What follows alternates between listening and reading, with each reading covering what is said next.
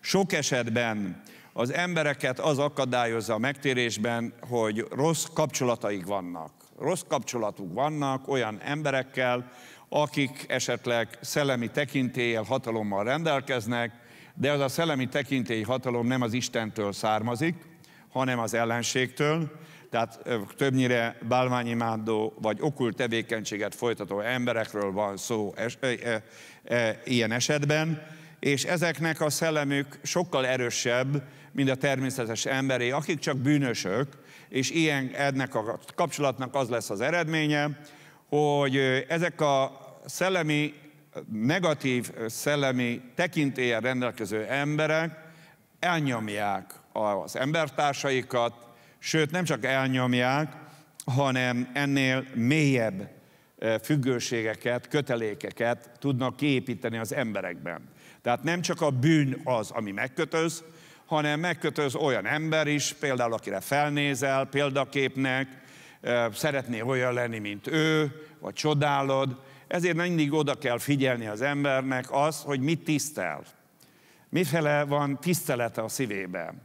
És ezzel a kapcsolatosan nagyon sok vakság van, mert ugye a kultúrát a mai modern korban mindenhol fölmagasztalják, a kultúra és a kultusz szorosan összefüggésbe áll.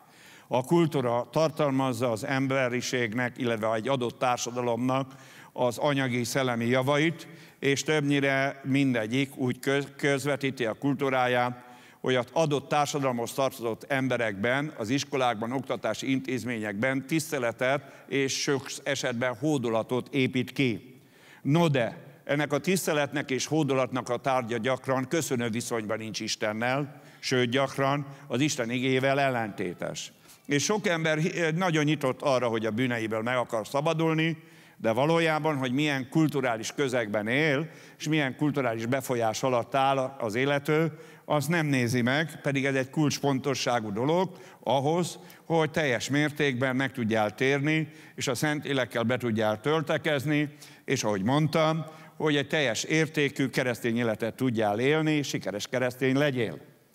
Szomariában például olyan kultúra volt tehát, amely mélyen át volt itatva zavaros tanításokkal, szinkretista volt, tehát nem volt se judaizmus, se zsidó kultúra, se pogány kultúra,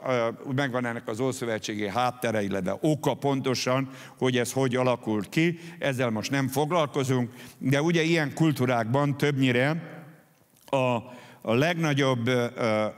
hatással levő emberek, akik az embereknek a közvélekedését, felfogását, értékrendjét meghatározzák, az többnyire ezek az emberek szellemi szempontból több, mint zavaros egyének.